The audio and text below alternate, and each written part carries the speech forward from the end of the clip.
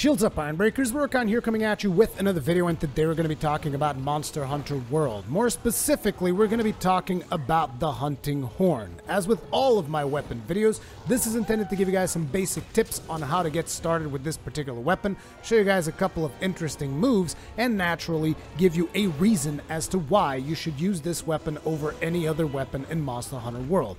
And in the case of the Hunting Horn, that reason is how would you like to humiliate the monsters you are fighting. That's right, humiliate them. And I know some people are saying, you mean humiliate them by playing with a really weak weapon? well, if you think that the hunting horn is a weak weapon, Oh man, you got another thing coming. You're probably one of those people that thinks the hunting horn is a support weapon. No, no, no, no, no. Listen, let me explain to you, okay? The hunting horn is all about smashing monsters in the face, and when they're reeling, drooling, and just waiting for you to put them out of their, of their misery, you sneak up to them and you softly whisper in their ear, How would you like me to play you the song of my people? And then you start playing bagpipes all over their face to add insult to injury. That is what the hunting horn is all about.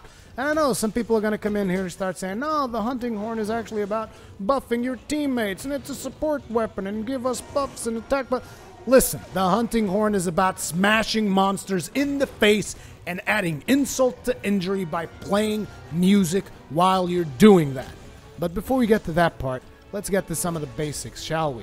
So this is the hunting horn, and when it comes to figuring out combos and all kinds of fancy moves, sure you can figure some of them out, but to be completely honest, the only combo that matters when it comes to the hunting horn is the notes that you are playing because every single move that you can perform with the hunting horn flows directly into any other single move that you can perform with it. So say for instance you want to start hitting a monster by hitting triangle, Okay, here you go. Triangle infinite combo. And I'm like, okay, let's add some circle on that. Boom, circle infinite combo. And I'm like, oh, that's nice. Okay, let's let's uh let's get fancy. Triangle circle. Oh, look at that. It just combos right into each other. And I'll hit R2 for a nice little performance. Also combos into it and then plays bagpipes. Holy crap. So pretty much what I wanted to explain to you guys by showing you this particular bit here is that anything that you can do with this weapon will flow naturally into anything else that you can do with this weapon because the whole point is for you to play specific notes to get buffs. That is the whole point of the hunting horn and therefore all of the combos flow naturally into one another to allow you to just focus on doing other things like selecting the correct notes. Now, different hunting horns are going to have different notes as well as different buffs. So whenever you equip the hunting horn and you then come out here and you pull out the hunting horn and start hitting stuff with it, you will notice that on the top right hand side you have the notes. It will tell you which button corresponds to which note, and then it will tell you which notes you have to play in order to get specific buffs. So let's start with a simple one. First of all, each note is white note triangle, red note circle, blue note triangle plus circle. Okay? That is just straight up on the top right hand side, so you should be able to see it just fine. Then next to it, you have the different notes you have to play in order to get each um, each buff. So in the case of attack up S, it is basically uh, white note, red note, red note. So that means triangle, circle, circle. So triangle, circle, circle. And that will give that will queue up the notes to give you attack up. At which point you then press R2 to perform. And this will give you attack up. In this case, it gave us attack up L because we already got attack up uh, S earlier, so it increased the potency of the buff we already had. And now you have attack up, and you can continue to attack the monster as you see fit. But ideally, you want to give more buffs to yourself and your teammates when you are using the hunting horn. So let's look at over there at a health boost. Health boost is red note, blue note, white note. That means circle, triangle, circle, and triangle. Circle, triangle, circle, and triangle. And then R2 to perform. And we are now doing health boost S. And we now increased our health. And that is pretty much the way that you can do any buff you could possibly want. Now, on top of the buffs that are available to yourself and your party, the Hunting Horn also features a specific buff that is only to you. And usually that buff is performed by doing triangle, triangle. So if we do triangle, and then triangle again, and then perform, we now have deflected attack prevention, which means our attacks will no longer be deflected when you hit the monster. Uh, the first buff that you actually do with self-improvement on this one is faster movement speed for when you are uh, wielding the hunting horn, which is extremely uh, important because, you know, you want to be able to move a lot, especially with this particular weapon because you're going to need to do a lot of dodging, you're going to need to pull a lot of fancy moves to be able to actually play the notes when you need to play the notes. So self-improvement buffs are pretty good. I do believe that with different hunting horns, they might have different self-improvement buffs, but we're just focusing on the basics for now. Then we will look over different hunting horns and their different buffs. So now you know how to perform basic buffs, and you know how to perform the self-improvement buff, which is not that hard. So what else is there to this weapon, Rurikhan? Why is it is it that complicated? The the biggest challenge to using the hunting horn is being able to keep tabs on the notes that you have to play while fighting a monster. Because while we're in the training area, which is where I am right now, you can basically hit the monster and be like, okay, I want to do triangle, circle, circle. So you can go triangle, circle, circle, and it's done. And then you just hit perform again, and you're good to go. But when you are fighting a monster, it's an entirely different thing, particularly because, as you can see, after performing, your character is left a, a, bit in a vulnerable state in which a monster can really, really punish you. So basically, the only thing I can tell you guys about that is that this weapon is going to require much more practice than other weapons. At least, in my personal opinion, I find this weapon to be much more challenging than anything else that I've tackled before. Now, having said that, let's talk about a couple of interesting optimizations that this weapon has when it comes to the performing and doing the buffs you can stack up three buffs at once. So you can go attack up, health boost, wind pressure negated. You can basically do all those buffs in a row. So like you could go like this and then circle, then circle again. And then uh, you could go circle again to start the health boost. But the interesting thing here is the next song that you play can use the last note from the previous song. And I know this is a little bit of a, a, complicated mess to try and explain to you guys in a way that some of you guys will understand. But basically, think of it like this. Right now, what do we have on our notes played? We have triangle, circle, circle, which is attack up S. If you want to do health boost next, then you can use the last circle from the previous song that you're going to be stocking. You can use that for your next song. So for instance, if we want to use health boost, and since we already have one red note, we can go blue note, white note. And as you can see, it used up the last note and gave us instantly uh, attack up L. So right now our last note is triangle, which is the white note, which means we can combo that into defense up by going blue blue. And that means we now have queued up the following buffs. Attack up S, Health Boost S, and Defense up S. Now, if you notice there are different icons on top of the three stocked buffs. You have R2, R2 plus triangle, and R2 plus circle.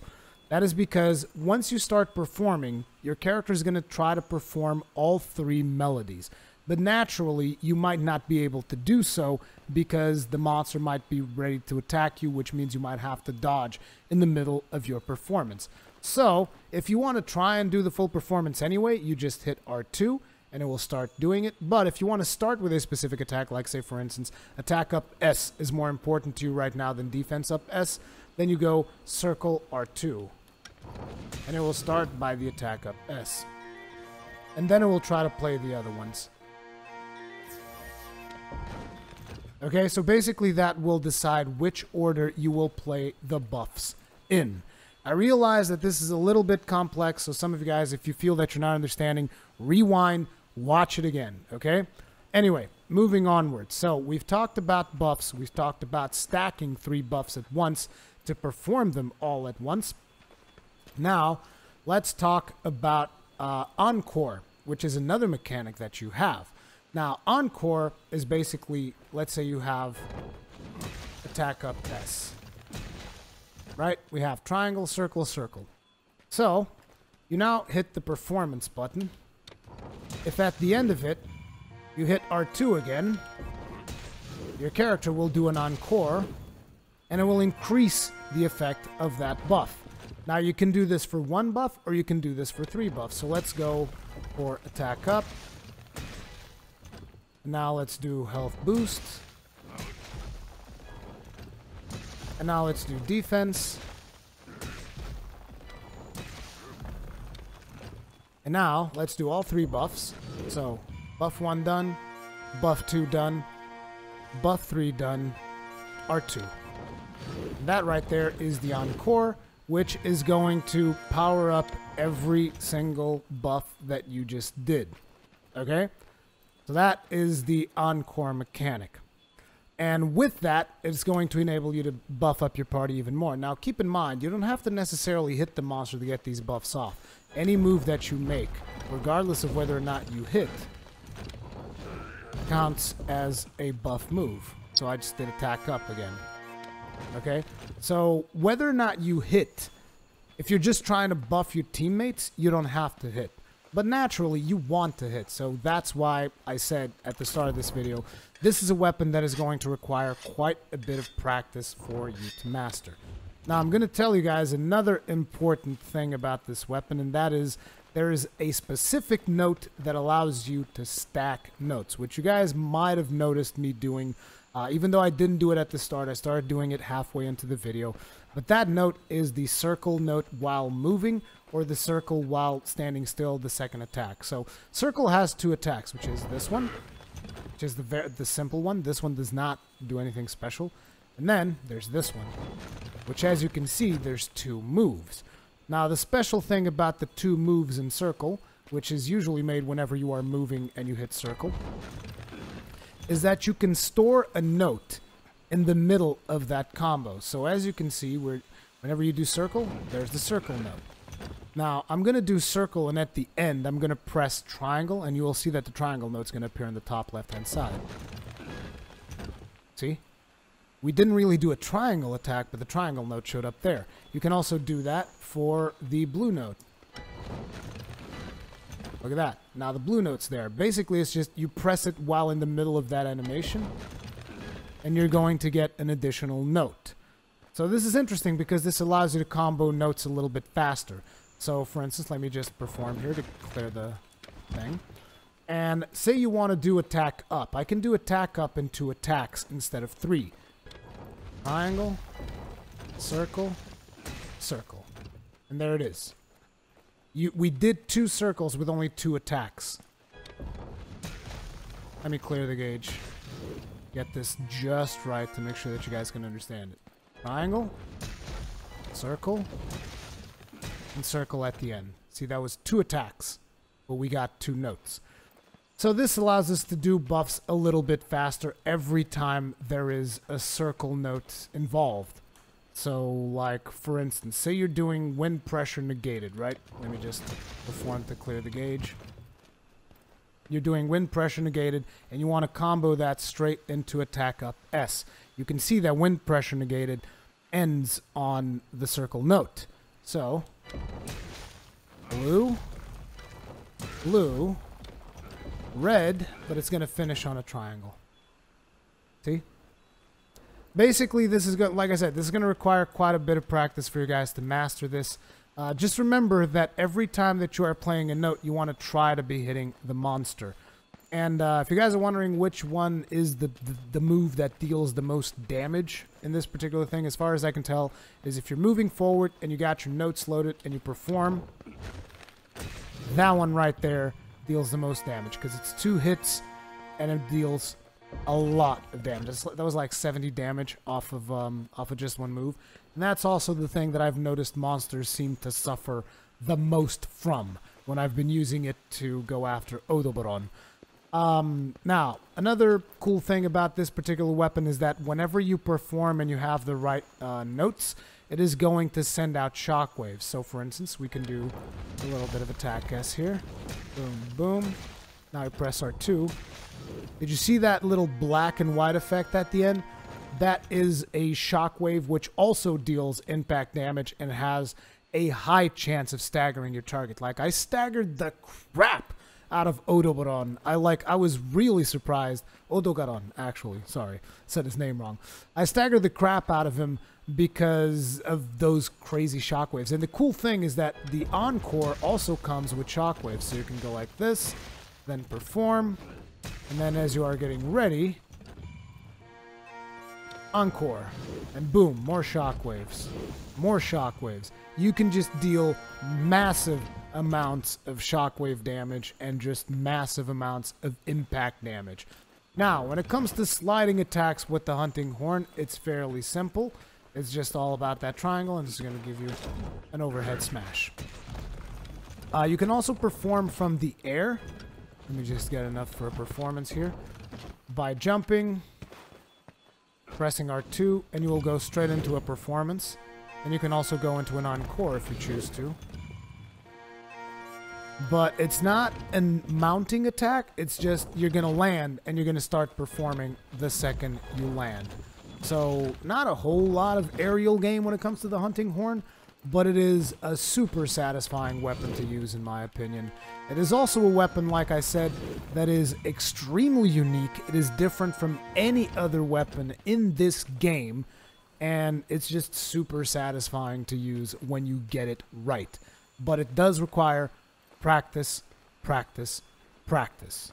Earlier in the video I mentioned that each hunting horn has its own set of notes and therefore its own set of buffs, and this is something that you should take into consideration whenever you are crafting. Whereas with other weapons you are usually just paying attention to the element or the status ailment that your weapon is going to have, and you know, stuff like affinity, damage, sharpness. When it comes to hunting horns, you also have to pay attention to the notes themselves. So if you notice right now, our Great Bagpipe 2 plays white, red, and deep blue. If you start pressing R2, you can go into the melody effects, and this will tell you what each of the buffs actually does for a weapon. So we got the self-improvement there, we got attack up S, health boost S, wind pressure negated, and defense up. This is for the back the bagpipe that we currently have. Now if we move a little bit further down the line, we can go to like the Kulududa 3, and you'll notice that it now has the notes white, deep blue, and light blue. And if you then go into the melody effects, you're going to have different things like stamina usage reduction, still wind pressure negated, defense up, and tool use drain reduced, scout fly power up. I don't know what all of the buffs do, but what I can tell you is that there are tons and tons of buffs. Like you can see here, once again, stamina use reduction, health recovery, health recovery, and antidote. So you can even uh, cure your teammates from certain status ailments. You have another one here, Blooming Horn 3, also has earplugs to prevent everyone from getting staggered whenever a monster screams out. We have uh, Scout Fly Power Up, Self Improvement, and basically, you guys get the idea. There's tons and tons of different buffs, so beware whenever you are crafting your hunting horns. Pay attention to the buffs that you have because you're not always going to have increased attack damage, increased defense, and increased health. Things are going to vary depending on which hunting horn you are crafting. Keep this in mind whenever you go to the smithy to craft your next tool of destruction. That's pretty much it for the hunting horn. As per usual, remember to check the comment section since the Iron Breakers are always willing to help and will be posting additional tips if we happen to have any hunting horn veterans. I'm pretty sure they will be leaving a bunch of comments in the comment section below, so check through that if you want to delve even more into the hunting horn. And uh, yeah, happy face smashing and bagpipe playing. Thank you very much for watching, and I'll see you guys in the next one.